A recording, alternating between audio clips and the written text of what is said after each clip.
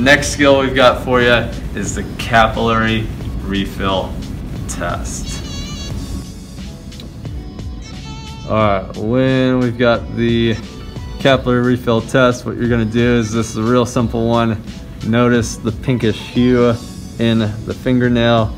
You're gonna push down for about three seconds pretty hard on that person's fingernail.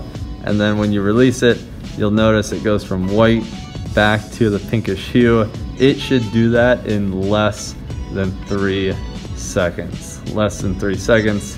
Sometimes if they have fingernail polish on, you flip it on over, you do it on this side. Less than three seconds, it returns to that pinkish hue color.